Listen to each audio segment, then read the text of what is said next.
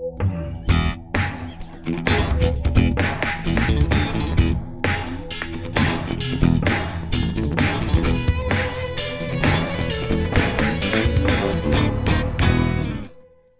găsit, dragi prieteni! Eu sunt Silvia Gerasim, urmăriți emisiunea Studenții de ieri. Astăzi în platou avem uh, un invitat uh, de la Politehnică, domnul uh, profesor Sorin Mușuroi.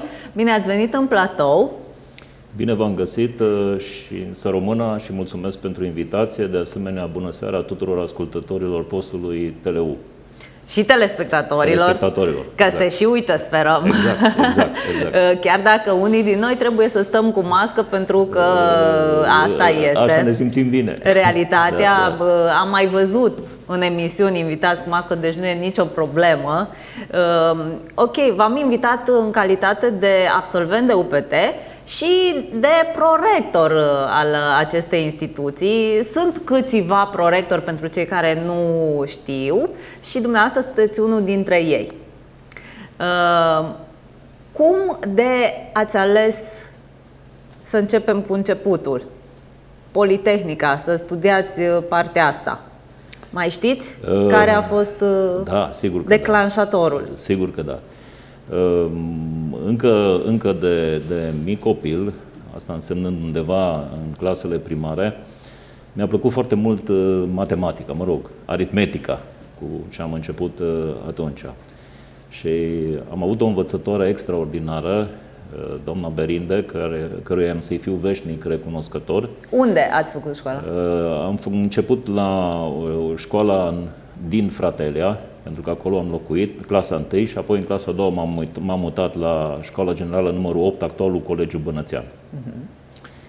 Și încă de mic copil, doamna învățătoare, la ședințele cu părinții, uh, a atras atenția mamei că am un talent pentru matematică. Mi s-a picurat acest lucru, am lucrat foarte mult pe, pe partea aceasta, mi-au plăcut de mic chestiile tehnice, să demontez, bineînțeles, atunci era partea aceea, aveai o mașină, te jucai cu ea, după aia hai să vedem ce e înăuntru, demontai, încercai să o mai pui la loc, de cele mai multe ori nu reușeai uh, treaba asta. Acum nici să vrei, nu mai poți să, să le demontezi, nu mai e nimic prin Mi-au plăcut foarte mult uh, uh, jocurile care se axau pe construcții. Aveam tot felul de piese din plastic din care realizam tot felul de, de, de construcții. Și atunci, când lumea mă întreba ce vrei să te faci, am zis inginer constructor. Deci asta a fost prima, prima legătură cu Politehnica, ca să zic așa. Dar cum de, cum de v-au sprijinit părinții? Cât de important a fost să vă sprijine? Uh, a fost foarte important pentru că uh, de mic ei uh, au stat alături de mine și au încercat să-mi sprijine educația și să-mi pună în evidență puținele talente pe care, pe, care, pe care le aveam. Nu doreau să vă faceți altceva, să alegeți alt domeniu? Uh, nu, de... uh, sora tatălui meu care, care este medic uh, a încercat să-mi strecoare Așa. medicina în cap. Dar treaba asta nu s-a legat. N-am, adică mi-ar fi plăcut să lucrez cu oamenii, mi-ar fi plăcut să-i ajut, dar nu chiar am stomacul pentru, pentru medicină.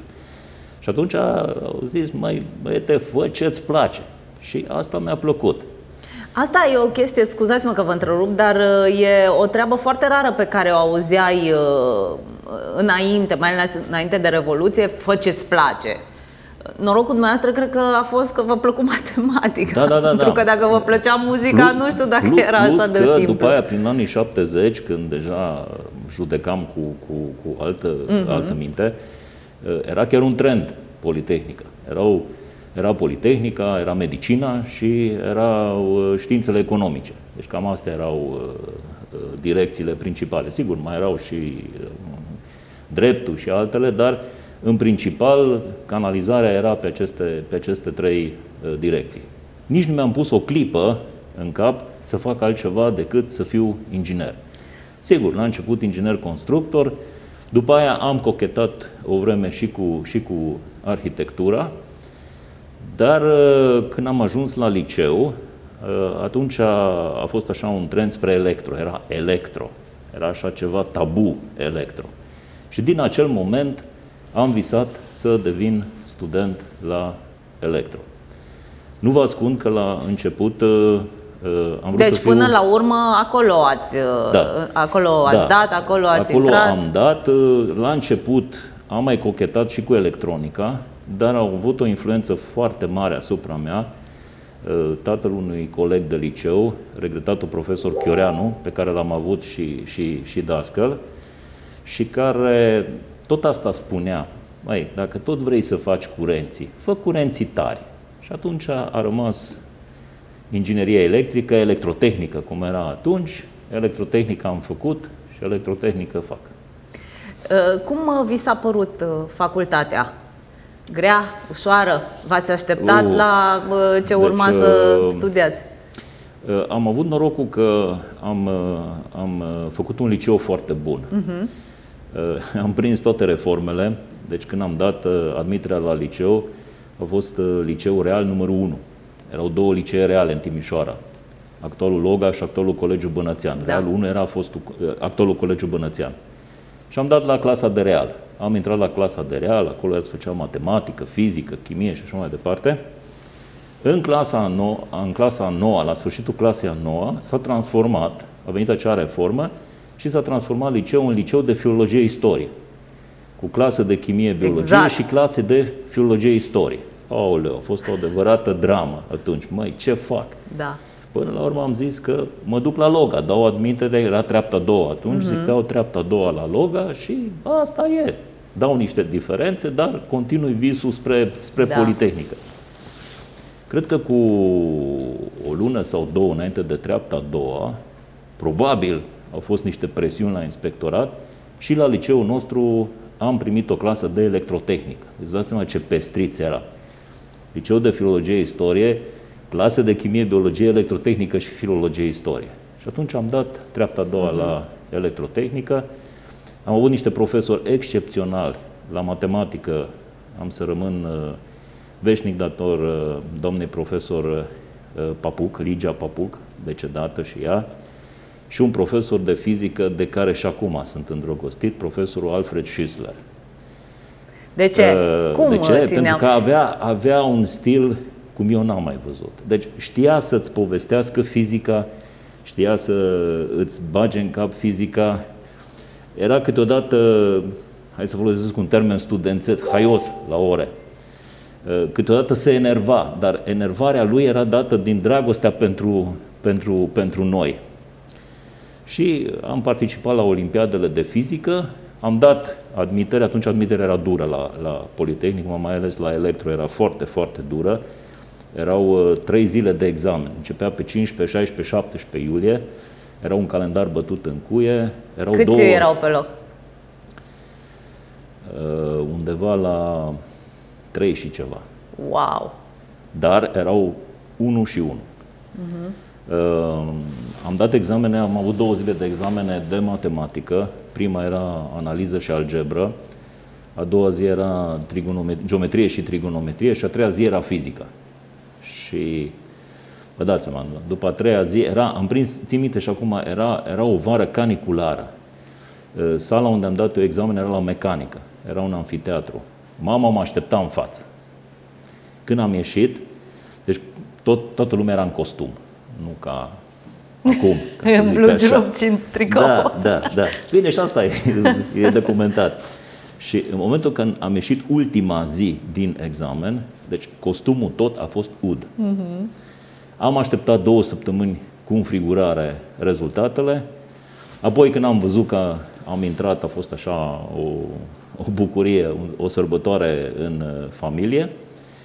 Uh, A urmat armata, aia, aia ne-a rupt un pic, noi am făcut armata înainte de, înainte de a începe uh, facultatea, deci Da. a fost un an de armată, după care am venit, chiar dacă veneau profesori de la Politehnică și ne mai țineau niște ore de matematică să, mm-hmm. să, nu, să nu uităm.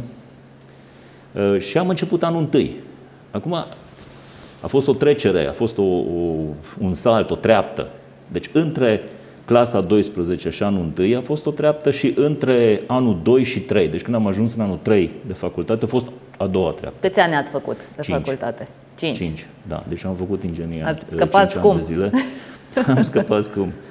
Uh, știți, era parcă ceva de genul uh, ceva cel mai greu să ajung, vreo șase ani ca să ajungi în anul 3, era un cântec, acum nu mai mă aduc aminte versurile, dar cam așa era, deci plus că atunci nu erau cu nu știu câte prezentări, aveai voie să rămâi cu trei restanțe la sfârșitul anului, în toamnă. Nici nu se puteau plăti. Nici nu se putea, nici nu, nu se... nici nu era. Și atunci dacă rămâneai cu încă una, gata, erai, erai, mai era un re-re, se ajungea... Ați avut vreodată vreo restanță?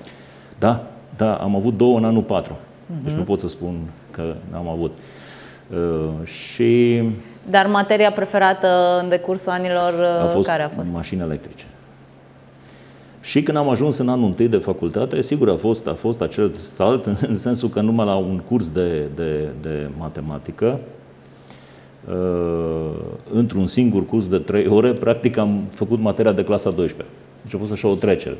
Am ieșit afară, eram amețiți. Deci, până la urmă, cum a fost dar, facultatea? Grea? Sau... A fost grea. Grea. Da, grea, dar frumoasă. A fost mm-hmm. grea, dar a fost, pot să spun, uh, frumoasă. Haideți să uh, ne povestiți, uh, acum știm ce se întâmplă cu viața studențească non-existentă. în timpul da. liber săracii stau în cază că așa se mai plimbă, da, se mai nu prea și, socializează. Și, Dar și atunci pandemia. care erau modalitățile de socializare? Ce făceați în timpul hm. liber? Deci, Făceați chefuri în cămin sau nu? Eu nu am fost căminist. Eu da, sunt timișorean, n-am prea gustat. Vedeți, aici a fost, uh, să zic așa, o... Nu v-a fost ciudă? De, de multe ori, da.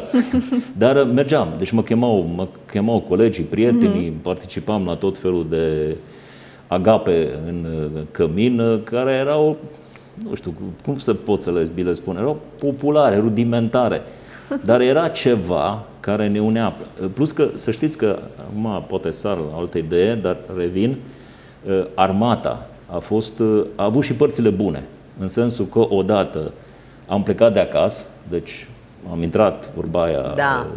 nu mai eram pul, rup de... mamei care, da, da, da, mama da. care vine, îți aduce sandwich-ul, ceaiul, cafeluța sau, mă rog, atunci era cu năut pe vreme, era surogatul ăla. Și acolo te-am învățat totuși un pic de rigoare, disciplină, deci era, era cu totul altceva. Și acolo s-a închegat colectivul, știți? Acolo ne-am cunoscut. Unde poți să cunoști un om cel mai bine? Decât când uh, stai tot timpul, împarți bucuriile, greutățile, marșuri forțate, gărzi, noaptea și așa mai departe, atunci îți cunoști. Și da. prieteniile s-au legat și au rămas pe timpul, în timpul studenției. Și atunci, sigur, se continuau cu acele agape la cămin, un Mă gândesc că erau mic. civilizate, nu Acum era... n-am fost îngeri. Deci, nu, nu, nu. Adică erau, dar erau decente. decente deci niciodată da. n-am sărit calul. Dar, sigur, mai apăreau și mici sticle, se mai trăgea un pahar, mm-hmm. se cânta, erau mm-hmm. cântece studențești, unele mai de ochiate, altele mai puțin. Deci uh, pot să zic că am făcut totul așa cu bucuria, adică ce puteai să faci în vremea respectivă. Aveam și câte un casetofon, micuț el, cu niște casete care unele hâșcăiau, mai, dar asta a fost frumusețea. După aia erau uh, seara grupei, serile de an. Aici era un handicap. Noi eram uh, majoritatea băieți. Aoleu, Aveam da, fete. Corect. Și atunci obligatoriu și trebuia să veneau? inviți. Păi invitam de la unde erau fete, de la vest sau de la medicină. Astea erau, să zic așa, sursa de, de, de, de fete. Și Întotdeauna veneau cu plăcere și ieșau, erau întruniri foarte, foarte, foarte drăguțe, dar vă spun, cu tehnica acelor ani.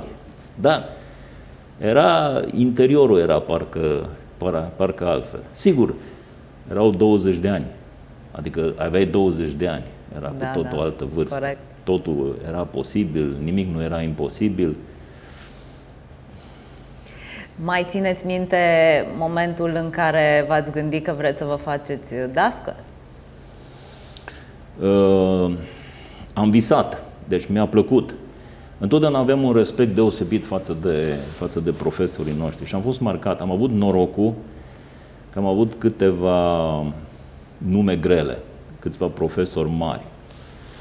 Mm, am avut profesori care m-au marcat, profesorul Ioan de Sabata, la bazele electrotehnicii. Un dascăl care în momentul în care intra în clasă nu avea nicio foaie, eventual un mic să vadă titlurile. Venea cu mâna în buzunar și în momentul în care începea cursul, era ca un artist care intra în rolul profesorului. De multe ori suna, eram atent la figura lui și parcă atunci dădea ușurel din cap și intra în lumea, în lumea reală. Deci credea în ce spune, îi plăcea ce spune, o spunea cu pasiune. A fost un dascăl deosebit. Apoi, uh, cel care mi-a și-a pus cel mai puternic amprenta și, de fapt, m-a și, uh, ca să zic așa, canalizat spre specializarea de mașini electrice, a fost academicianul Toma Dordea, care a fost un om deosebit. Deci eu, așa un om, dascăl, om, nu am mai întâlnit. Deci a fost un om de o modestie, a fost un om pâinea lui Dumnezeu, ca să zic așa. N-a putut să facă rău la nimeni. Avea și el funcții de conducere. Nu i-au plăcut funcțiile de conducere. A fost și el. A fost uh, ultimul prorector. Și asta m-a ambiționat să, să accept și am fost onorat când domnul rector Drăgan mi-a făcut această propunere. Am stat puțin în cumpănă, eram decan la Electro și am stat puțin în cumpănă și m-am gândit, zic, cine a fost totuși ultimul nostru prorector? Și de la academicianul Dordea n-am mai avut prorector facultatea noastră. Și atunci am zis, pentru că omul ăsta m-a marcat, hai să încerc umil să calc și să încerc parcursul, parcursul lui cel puțin acolo la, la, la rectorat. Ce ați învățat uh, de la acești uh, dascăli? La acești Pentru dascăli, că a fi dascăl este o chemare, a fi profesor uh, deja este jobul, uh, dar uh, mă gândesc că toți înainte de a fi, de a preda, de a se pune în postura de profesor, da. sunt niște oameni brici. Da, deci în primul rând mă uitam la ei ca, niște, ca la niște zei. Uh-huh. Erau somități. Aceștia erau adevărați erau adevărat. influenceri. Exact, exact. Pentru Dar că... nu le se zice așa. exact. Da. Deci am avut, am avut ce învăța. Deci mi-a plăcut, deci eram impresionat. Zic, dumne, ce oameni sunt în fața mea, ce, ce, ce frumos ar fi ca odată, mai mă barem asistentul lor să fiu. Să... Și mi s-a deschis această carieră universitară în uh, anii 90.